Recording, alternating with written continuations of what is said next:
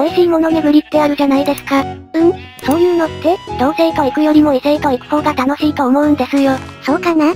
つまりさ、美味しいもの巡りしないか？嫌だけど、最高だぜ。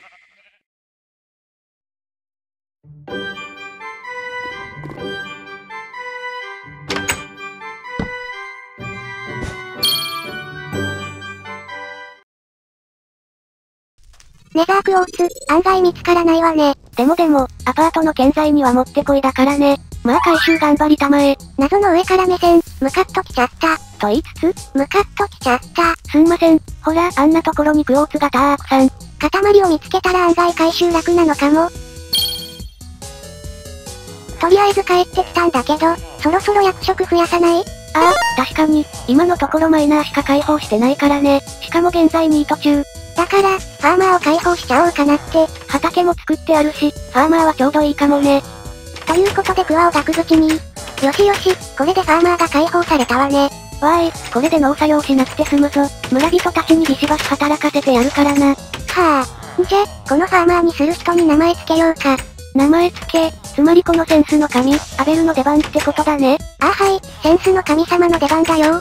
それではファーマーの君にふさわしい名前を伝授しよう。ちゃん。ええぼ、ぼんちゃん。そう、君の名前は今日からボンちゃんで決定だ。別に名前なんて何でもいいと思ってるけど、君センスないわ。え、え、え、ファーマーと言ったらボンちゃんっていうのが定番でしょ。知らんがな。おう、ファーマーの服は緑色なんだね。アテネも緑色だからボンちゃんってことか。ボソ。なにいえいえいえ。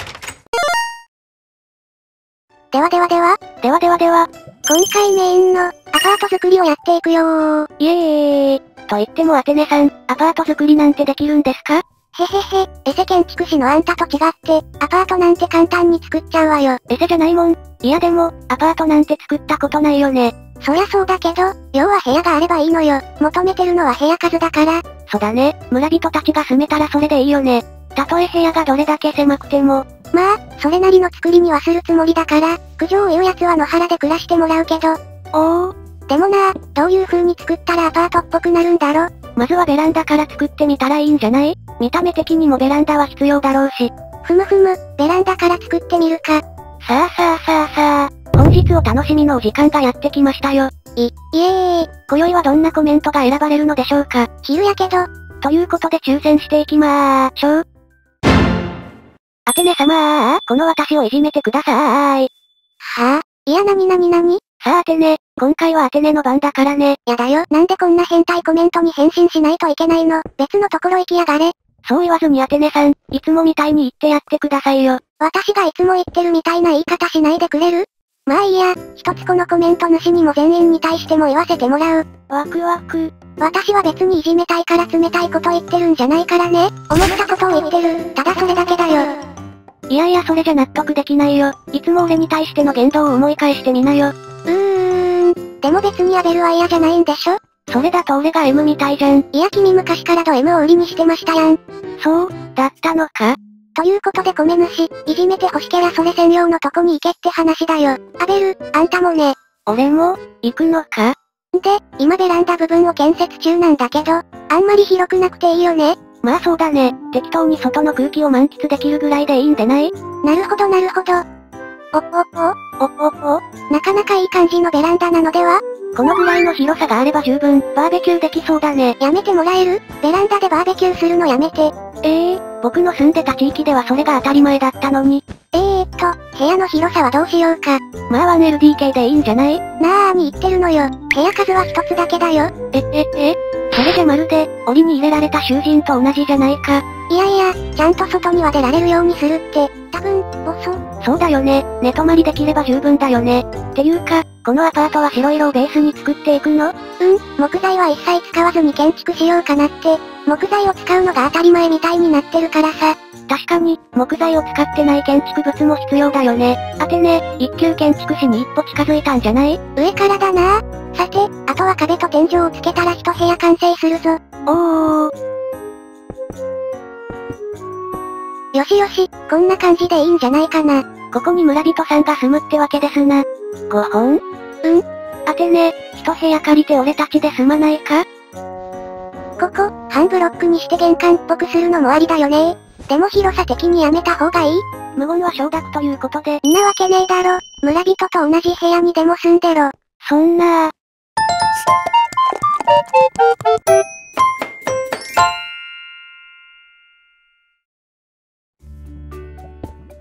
どうよどうよ、アパートっぽくなってきたんじゃない？いいねいいね、ぽいぽいぽーい。部屋の構造はもう決まったから、あとは部屋数を増やしていくだけだ。最初はアパート作り不安だったけど、思った以上にうまくいってよかったよ。そうでしょそうでしょもっと褒めてもいいんだよ。わあすごい、アテネすごーい。えへへ。右側も同じように2部屋作っていきまして、作っていきましてそしたら2階も作っちゃおう。いいペースんごねそれで、合計で何部屋作るつもりなの ?8 部屋？そう、そこでちょっと試したいことがあってさ、試したいこと？向かい側にもう8部屋追加で作ろうかとも思ったんだけど、それだと面白みに欠けるでしょ？ほう、だから、今作ってるアパートを1棟、そして少し離れたところに2棟目を作ろうかなって、なるほど。でもでも、それって話す意味あるの？そこだよそこ。話したアパートを2階から繋ぐ橋的なのを作成しようと思ってるんだよね。で、その間を中庭にする予定。おお、ナイスアイデアじゃないのそれ。うまく作れるかは別として。絶対いい感じに作ってみせるよ。今だって想像以上に出来のいい建築になってるし、確かに確かに、完成が楽しみになってきたよ。窓ガラス設置しまして、壁もトントントンと、トントントーン。反対側も作っていっちゃうぞー。ずんどこずんどこ。いやー、自分が作った家に他の誰かが住む、そういうのっていいよねあ、アテネが温かみのある人っぽいこと言ってる。おいどういうことだ？その代わり、休む暇もないぐらい働いてもらうけどね。ひえ、やっぱり温かみなんてどこにもなかった。おい。うんうん、とりあえず1階と2階は完成したよ。めちょめちょええ感じやないかー。すごいよアテネすごい。アテネってセンスの塊だったんだね。ザ、塊女。そ、そうかな？そんなに褒められると照れちゃうよ。と言っておけば俺の建築の時も褒めてくれるに違いない。褒めねえよ。え、なにいやいや、完成が楽しみだなって。1階と2階の部屋は完成したけど、まだ全体的に完成したわけではないんでしょ？そうだね。後ろの部屋とかも作っていかなきゃだね。反対側の壁もトントントン。トントントーン。そしたらそしたら、二棟目に繋ぐ場所も決めとこう。どういう感じにするか想像できてるの？全面ガラス張りにしようかなと思ってるんだけど、見た目がちょっと不安なんだよねガラス張りかガラスの量とか長さによっては微妙になるかも。うーん、作ってから色々手直ししていこう。多分今回じゃ作れないから、次回になるね。ワクワクするぜで、この1階の何もないところは倉庫部屋にでもしようかなとね。部屋を作るには狭すぎる。だけど他に作るものなんてない。あ、それなら倉庫にしちゃおう。という安直な考えが見え見えですよ。アテネさん。不満でもあるのか？いやいやすごーくいいと思ってるよ。よかった。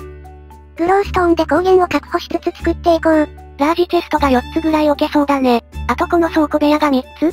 そうそう、それが作り終えたらこの胸は大体完成だ。うおー。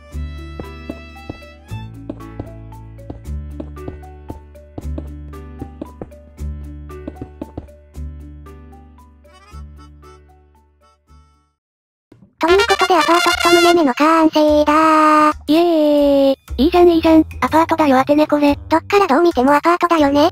装飾とかは次回するとして、早速、行っちゃいますか？そうだね、村人移住させちゃいましょうか。さあさあ村人たち、君たちの新しい家が完成したぞ。カバ村長とボンちゃん以外は連れて行ってあげよう。えー、わしも行ってみたい。行きたい行きたい行きたい行きたい。鉱石回収に行かせてやろうかわし、鍛冶屋だー好き。最初の頃は入りすらしなかったけどね。ほら村人さんたち、こっちこっち。このアパートで新たな生活が始まるんだよ。果たしてみんな気に入ってくれるのだろうか。それなら大丈夫だよ。へえ。ほい、君の部屋はここね。ほいほい、君はここ。おお、どんどん部屋が埋まっていく。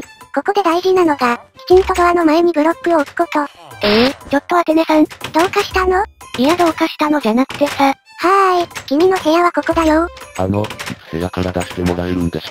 流れるように閉じ込めたぞ。さあ、みんな部屋に行ってくれたみたいだね。よかったよかった。外から中は全て見えていて、ドアからは出られない。ただの牢獄じゃねえか。